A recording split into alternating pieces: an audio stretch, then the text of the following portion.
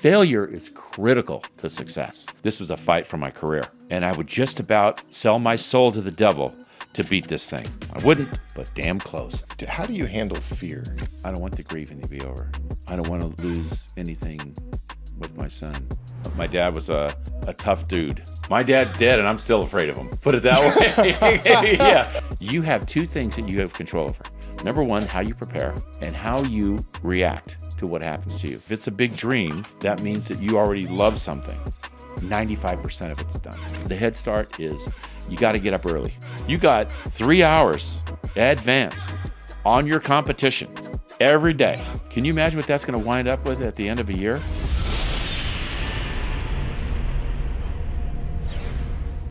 Welcome back, everybody, to another episode of the Vibe with Humanity podcast, a show intended on spreading positivity by showcasing inspiring stories with real takeaways.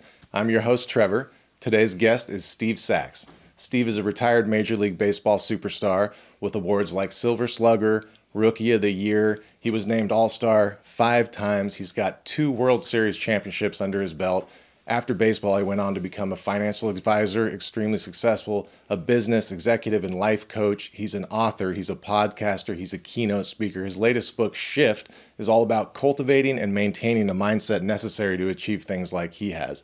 Personally, one thing I can tell you about Steve, he is the guy you see on camera, that positive, upbeat, humble guy who gives everyone the time of day. So, Steve, with that, welcome to Vibe with Humanity. I'm really excited to host you. And I'm excited to be here. I mean, Trevor, you're you're amazing at this. I ah, can tell right you. now. You know, it's an aura that you have around people, and when you see them in action, you you've got all the ingredients to be brilliant at this. So just keep keep pumping away and keep loving it. That's the main thing. Keep I, loving I it. I do think. love it. You're I do doing love it. awesome, man. Thank Telling you. So I we all know, you know, Steve, your career, we know you personally and stuff. I'm curious about your childhood. Like what was your living environment like? How did you get along with your brother Dave? What was your parenting style you were raised under? Like you guys are tough mofos. you're Yeah. tough mentally, you're tough physically, Yeah. not intimidated, not not scarable. Like, Did that come from your dad? Like what was your household like? Tell me a little bit. Well, thanks, Trevor. We grew up on a farm in West Sacramento, and um, we grew up in a uh, kind of a strict Catholic household. And uh, my dad was a a, a tough dude. Um, my dad's dead, and I'm still afraid of him. Put it that way. yeah, he was a tough dude, man, and he was old school. And my mom was very, very loving. My my father was German, my mom was Italian, so it made a real interesting mix around the household, as you can imagine.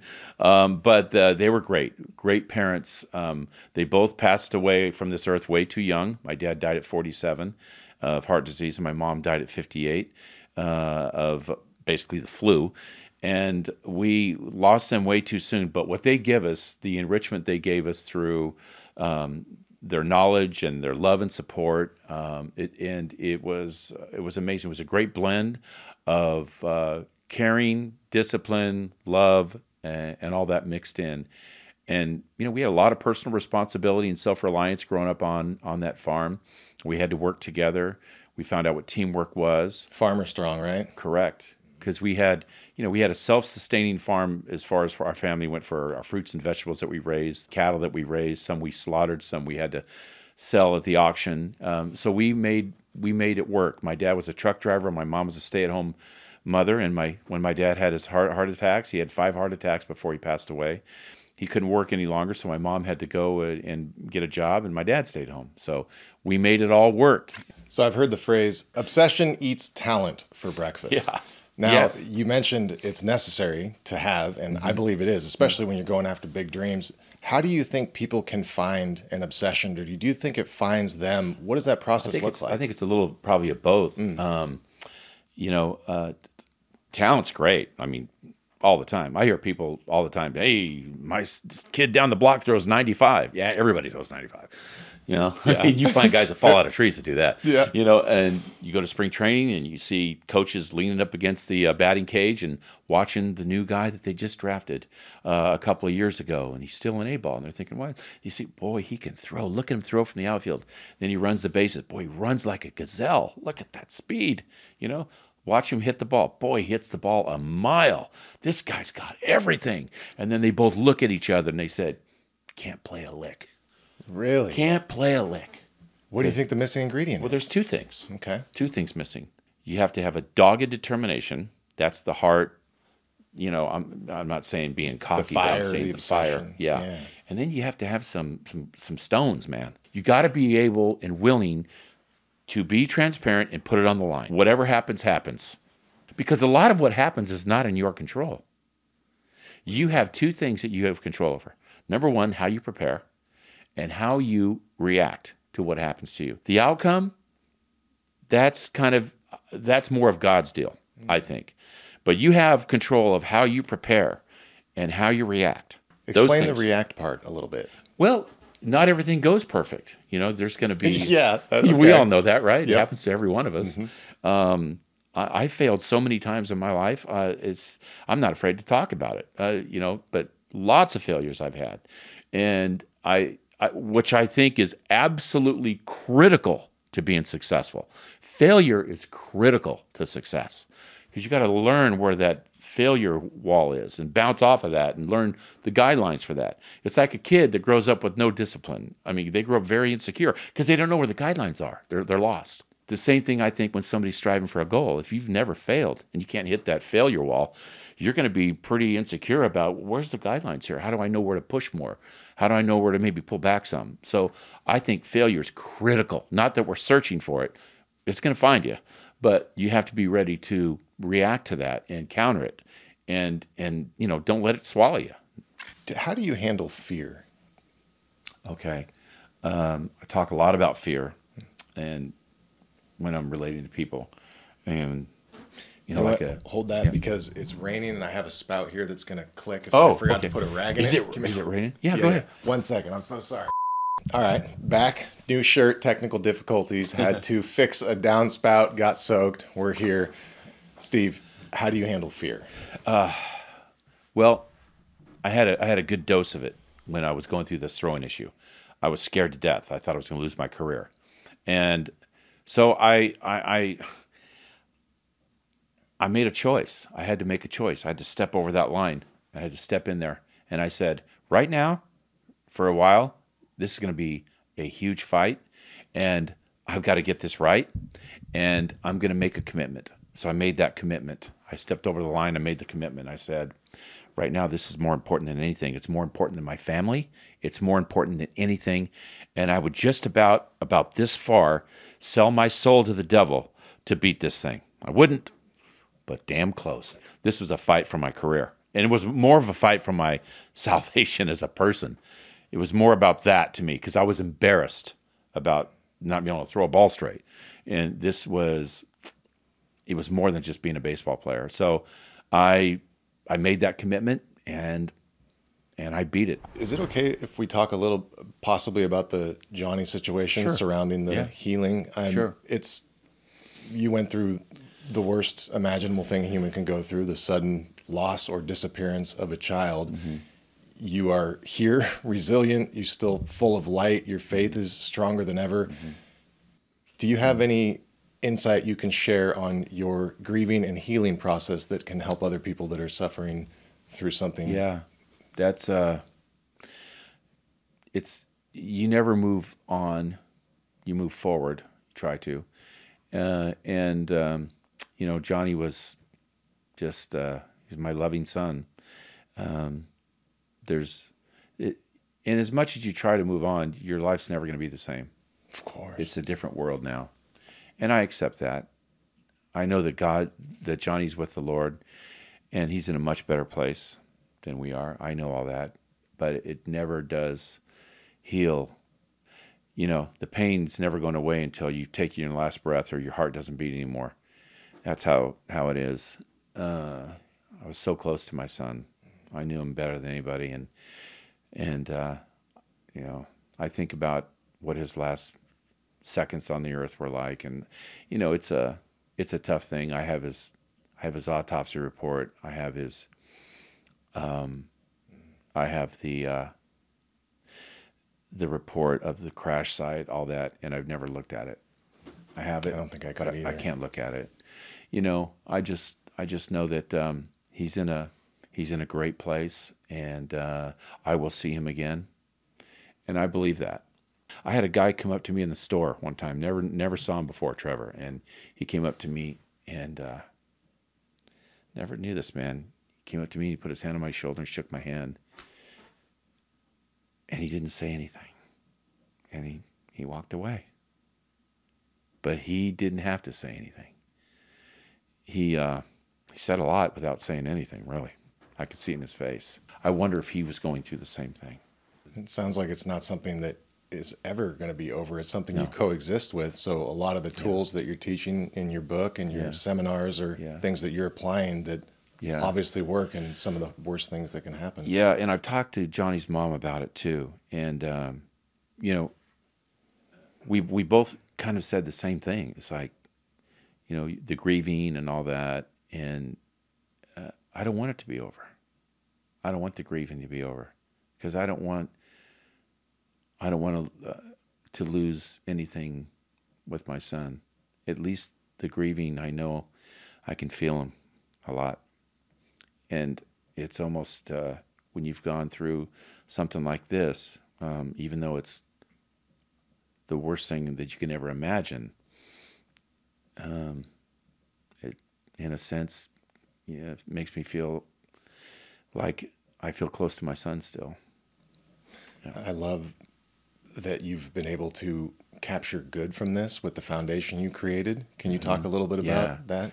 Captain John J. Sax Family Foundation uh, is a, uh, you know, Johnny had such a passion for for flying, and if he could come back, he'd be in the Osprey tomorrow.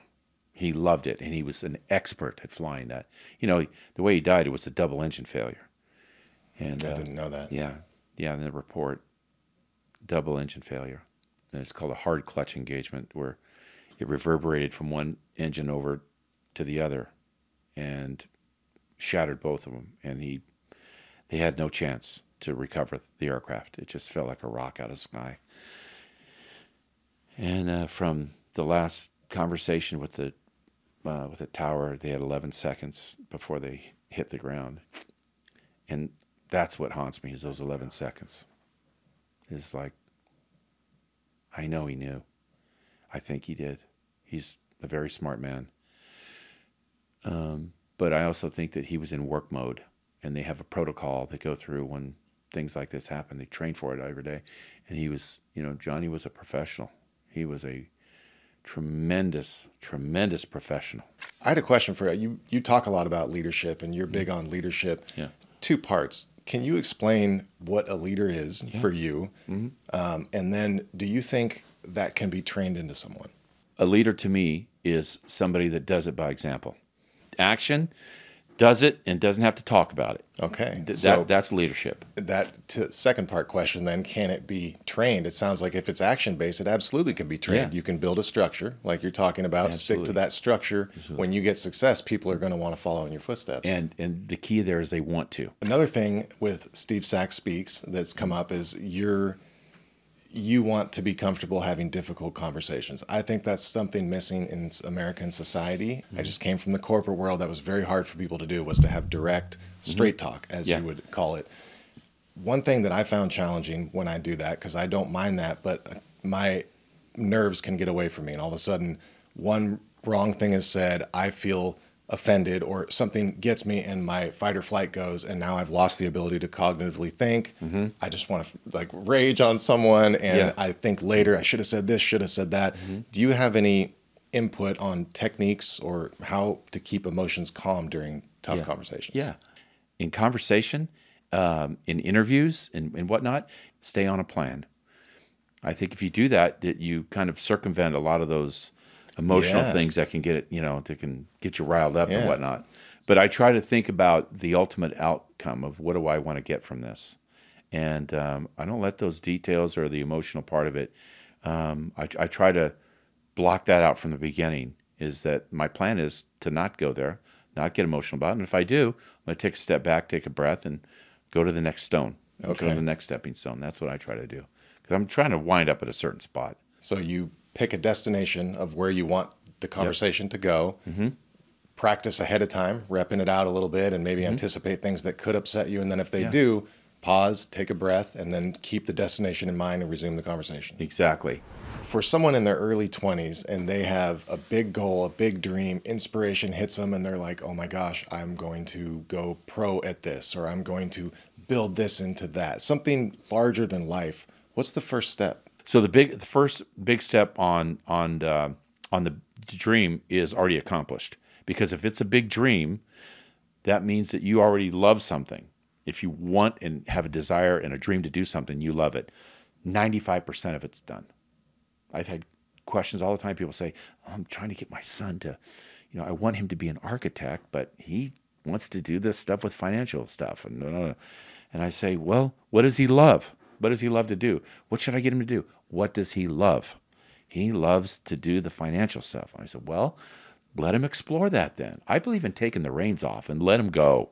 Let him go. Let him just let him run out. Let him fail. Please let him fail. A lot of times parents want to be they want to they want to uh, they want to protect them so much, and I get it. It's all good intentioned. I'm in I'm in favor of letting them fail. Let them fall down. Let them cut themselves. Let them bump their teeth. Hey, it's the best way. That's another thing I wanted to mention real quick is this head start. What's it, the head start is you got to get up early. Okay, you can't you can't be sleeping until ten o'clock. Pinch sleep or go to bed earlier to get up early. Oh, I, am saying I'm saying I, I, go to bed early, but okay, you, you know nobody has to. So pinch sleep if you have to. Because hey, get up early. Right. Okay. You know what? If you get up at six o'clock, and the rest of your age group is getting up at nine, you got you got three hours advance on your competition every day. Can you imagine what that's going to wind up with at the end of a year? 365 days a year, you know, it's like a thousand hours yeah. you have an advance on your competition. I mean, it's amazing what that can do, that one little thing to get up, you know, relatively early, if you consider that. I mean, you got a huge advance on your competition. So I'm I'm a big advocate for that. You know, have a structure in your day and get up get up a little early. Sleep until ten or eleven. I mean, oof. Yeah, imagine that. Day's already gone. I, I think I get the shakes if I woke up. It's ten o'clock. you know what I mean? yeah. I mean, I'd, I'd, get. Oh my God, what's going on here? Yeah. I got to do stuff, man. Yep. Day's going by. So anyway, I think that's a that's an important thing too. Do you want to talk about your NFT? You want to tell a little bit about that? Sure. Okay. Really cool. NFT is a non fungible token. Mm-hmm. Um, and uh, which means that it's absolutely immutable. It can't be changed, altered, or uh, added or subtracted in any way, and it's minted on the blockchain, so it's uh, it's impregnable. You can't you can't get into it and change it. Great. That's what an NFT does. I can't believe you just nailed that. Do you know how many times I've tried to teach oh, myself oh, really? what an NFT? I've yeah. asked people. That's getting yeah. uh, that that's going somewhere. Yeah, that that's what continue. It is. Sorry. Not, okay, and it's called Babe and the Kids. That's the name of it. I love it. Yeah. Any so, available for the public? Yeah, we're holding 50 back for the public as well. So um, they can just go to babeandthekids.com babeandthekids.com. They're $15,000 each. And we are donating a big portion of the proce- uh, profits because we're a for profit company. We do other projects, but we're donating a big portion of our profits. As a matter of fact, 75% of all the money that's going to my son's foundation this year is going to come from the sale of this project. We're going to donate several hundred thousand dollars to my son's foundation from this. And a real quick blurb on your son's foundation. Yeah, it's called the Captain John J. Sax Foundation. People can go to it by just going to johnnyourhero.org, johnnyourhero.org. And the foundation is about um, helping other aviators realize and capture their dreams like my son did. He wanted to become an aviator. So whether it's somebody that's trying to get through college that wants to be an officer in the Marine Corps or like John did, or, you know, they have, uh, you know, a, a hardship in the family, maybe, whatever it may be, we're going to help them accomplish the dream of being an aviator. So it's a great cause. You have a lot going on. You have a lot to offer. I'm glad you got it in a book. I'm sure you've got speaking's book, the stevesaxspeaks.com. Check yeah, that out give, if you want. Give wanna... me about 20 more speeches this year, Trevor. I'd love There you go. there you it. go. Well, yeah. get them out here, guys, because I don't know if it came through in the camera. I'm pretty sure it did, but there's just a, a vibe coming off this guy, an energy there you go. Vibe yeah. with humanity. That's it. All right. Thanks for having Thank me. Thank you for brother. joining. Yep. Thank you.